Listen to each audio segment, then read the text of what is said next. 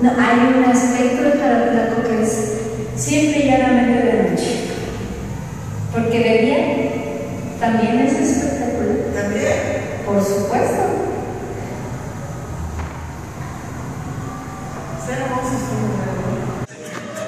¿Quieres contarme algo de tu historia?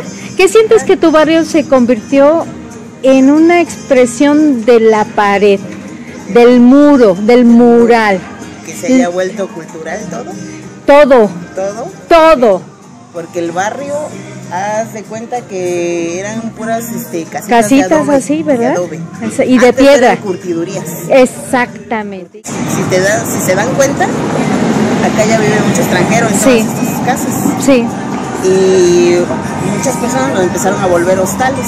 Ah, porque sí. como está cerca de la terminal de la DEO, exacto. por eso ya se volvieron todos hostales. Correcto, correcto. Entonces ya por eso se volvió un lugar muy tradicional, un barrio muy tradicional. Y una, y una referencia, ¿no? Sí, Pues que yo cuando nací era empedrado, este, Así era es. este, terracería, había un caño donde pasaba toda la suciedad de los curtidores y entonces esos este, caños llegaban al río y gracias al gobernador Gómez Sandoval que él entubó el río, ahora es la calzada y se quitaron todos esos malos olores y, y este piso ya es empedrado ahora. Ahora, cuando ve un mural, cuando ve la propuesta, cuando ve la vida nocturna, el Los desayuno, murales, yo, yo pienso que son este mensaje hacia la gente que les gusta todo esa, el arte y todo eso. Y me da muchísimo gusto que lo visiten. Ahora ya es muy internacional ah, y ya este ¿verdad que esto no tiene mucho tiempo?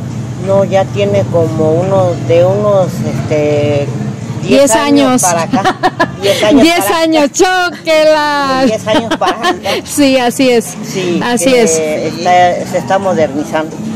Pero de una forma muy bonita, ¿no Sí, crees? Se está modernizando, pero no le quita ese toque rústico, este tradicional del barrio.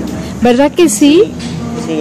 A ver, dígale a la gente del mundo por qué tiene que venir y pasar aquí una noche, una mañana, una tarde.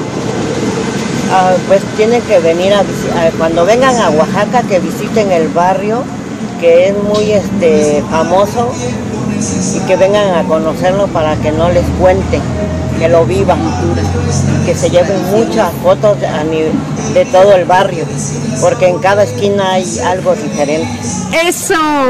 ¿Y tú qué, mi amor? Ah, no, pues que venga todo el mundo, eh, todos los oaxaqueños esperamos a que venga todas las personas de todo el mundo, porque eh, Oaxaca tiene muchos lugares fantásticos, culturales, bonitos, mágicos, como pueblos, como, com- no, hombre, como comida, que bueno, por eso estoy de estas carnes, porque no puedo dejar de comer. Ay. Pero vengan, por favor, porque todos los oaxaqueños los abrazamos a todo el turismo internacional, nacional, a que vengan a conocer nuestras culturas, nuestras tradiciones. Pero aquí en el barrio de Jalatlaco, que se festejan las comparsas, que son el día 31 de octubre, el primero de noviembre, son las comparsas aquí en Jalatlaco. Sí, pero Me gané mi hoyo Sí. y ya puedo volver. Y te, y te decía yo, ¿no? Este, y yo te hago tus rezos, tu, tu funeral, como tradicionalmente. Está bien, yo estoy feliz porque me lo haga. Y ahí te invito a que pruebes nuestras deliciosas tlayudas de tasajo, chorizo, cecina enchilada, patita en vinagre, costilla. Y una salsa reventada sobre una la... salsa de mm, mil tomate con chile de árbol, bien riquísima. Oye, Eh, y la avientas de- así sobre la trayuda y la Sí, dejas la cocer sobre la el carbón. La dejo caer así sobre el carbón y yo digo, ahí está. Pruébenla, pruébenla, pruébenla. Sí, y con sus ricos molotes, quesadillas. Esto, yo me llamo Lidia Ramírez Chagoya. Me dio mucho gusto conocerte, qué bueno que te haya gustado nuestro estado, que también es estado de, es tierra de todos.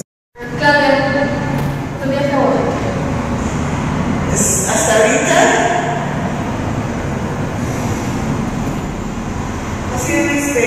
para todos los sentidos. No más. O sea, con el corazón